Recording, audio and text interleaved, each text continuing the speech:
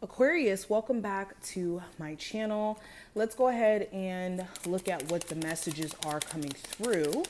If you want to see, of course, my readings in the future, make sure that you subscribe if you aren't already subscribed and hit the notification bell as well so you can get notified when I post and when I go live and take personal reading questions. That's when I answer your questions um, and you guys can get answers to whatever you're going through. But let's jump into it. We're going to pull nine cards from this deck. We have the tree, the anchor, and path as the first three cards.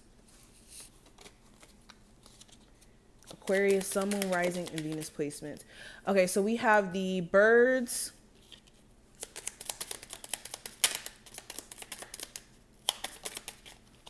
The stork. The fish.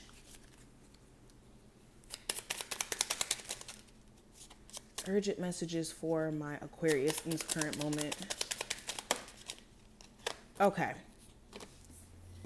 So we have the snake, the tower, and the moon. Let's back this up just a little bit. And I'm going to pull four cards from this deck. What are the urgent messages for my Aquarius, Sun, Moon, Rising, and Venus placements? For... Okay, let's see. So we have, when you step outside of your comfort zone, progress is always made. No feeling is final. Everything passes. Back this up just a little bit. Mark each day's end with gratitude. Don't let past events color your vision for the future of your future, excuse me. So looking at the oracle cards, just kind of starting there, Spirit is pointing out that you need to try a different approach. If you're realizing that maybe your approach to how you deal with your finances isn't necessarily working, or the approach with your relationships or your love life in general, if you are single, uh, you could be wondering, like, why is my love life dry? Or why haven't I connected with somebody who it feels worth giving it a chance or worth the effort? And maybe you need to take a different approach or step out of your comfort zone in terms of, you know, what you've been subscribing to, especially if you want a different experience. And this is making sure that you're not letting the past have you in a place to where you just kind of feel bound to the past, whether that's dating past people only uh, and not dating people new people because you're scared of new experiences that may come with that versus knowing what to already expect with exes that may not be good for you in the first place. But to get deeper, uh, first row, we have the tree, we have the anchor, and we have the path card. So the tree represents um, our ancestors, our family tree, uh, our level of groundedness, growth, spiritual connections, the body, okay, your health and well being. The anchor represents stability, it represents groundedness, uh, long term success. And then the path represents choice, decisions that have to be made here. So, looking at the cards that we have here, I think that there's a family member who could be needing some sort of support from you, whether that's you know, a place to stay temporarily, but they're scared to ask for it. Or you could have a family member that lives with you. And the message here may be that the best way that you can support them is by giving them options and not just kind of like letting them be enabled by you, if that makes sense. Okay. Not only that, I feel like there's some sort of health issue you guys need to make sure that you're working through, whether this is like through herbs uh, instead of traditional mes- uh, medicine, but at least trying to treat some sort of like terminal illness or illness in general through, like I said, consistent measures. And I, I, feel like for a lot of you would benefit from taking certain herbs, especially if you have some sort of like health issue around the pelvis or something. Anyways, uh, another thing that I'm picking up on there could be multiple treatments, multiple ways that you can fix some sort of um, health issue. I, I keep seeing stuff around health with this, okay? There also may be alternative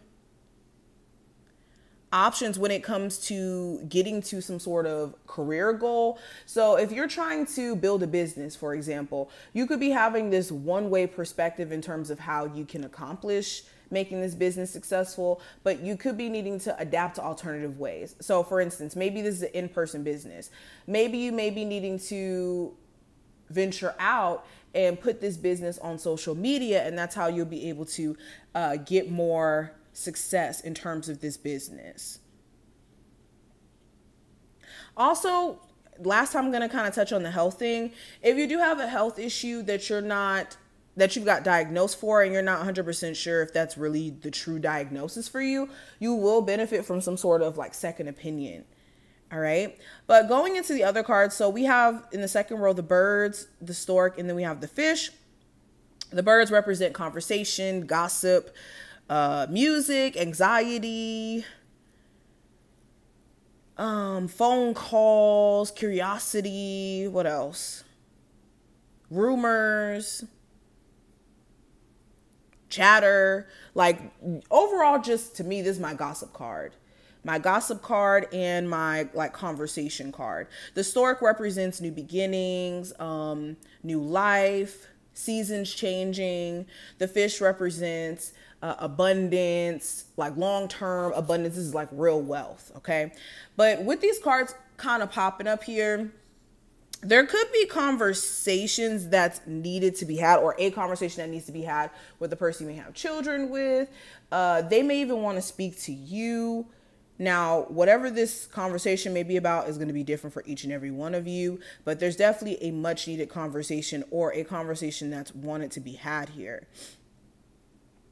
You could also have a family member that wants to come to tell you that they're pregnant, but they don't know how you will react, or there could be some rumors around a pregnancy.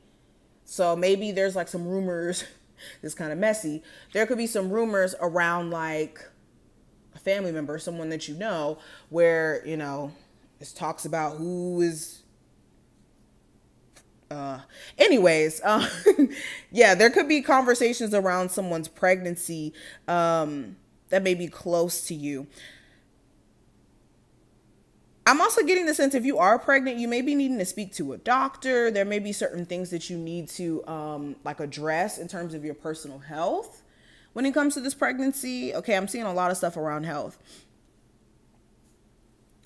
Another thing that i'm picking up on I feel like if you have a business partner, there may be a need for you to have some sort of conversation with them as well in terms of the business and where which direction it's going in and having just uh, conversations around like who's paying for what or how is this going to get done in the business? Like some sort of check-in. Especially when it comes to how finances are being managed too just overall. But the last row this is going to represent or the cards that we have here we have the snake we have the tower and we have the moon card. And the snake represents uh, betrayal uh, envy lies deception jealousy temptation okay? This is an interesting card all right? Affairs complications other women. And the tower, this represents like structures. This represents um like government buildings, stuff like that. And then the moon card represents, of course, just like the regular tarot, illusions, things that you're not aware of. But with this energy showing up, some of you guys could find out about some sort of affair that your husband or wife could be having or there may be somebody that you already know your partner kind of like runs back and forth uh, between you and that person Um, you may know that that already kind of goes on, and you could be deciding whether or not moving on that divorce is the best thing for you to do. Some of you guys could be finalizing this divorce in the future. You could also be needing to file some sort of police report on somebody who's like a stalker here. This could be um, an ex who's like stalking you or somebody who you have issues with who could be like going out of their way to kind of like antagonize you. This also the energy of you guys manifesting your desires during this time frame. So be careful of what you're focusing your energy on, especially if it's negative. You also could slightly feel betrayed by a friend or a lover here after finding out some sort of information.